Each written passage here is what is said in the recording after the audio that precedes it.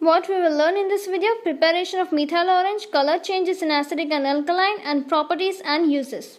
Methyl orange is prepared by diazotization and coupling of sulfanilic acid with N,N-dimethylaniline in presence of acetic acid. Sulfanilic acid reacts with NaNO2 plus HCl to give diazonium salt of sulfanilic acid.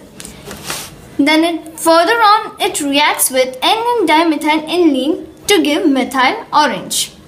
Methyl orange is yellow in alkaline solution and it is red in acidic mediums. In alkaline solution, it has a pH of 7.4 to 14 and in acidic medium, it has a pH of 0 to 3.1. This color changes transition, it is because of it changes from benzenoid structure to quinonoid structure. Now we will move on characteristics of methyl orange.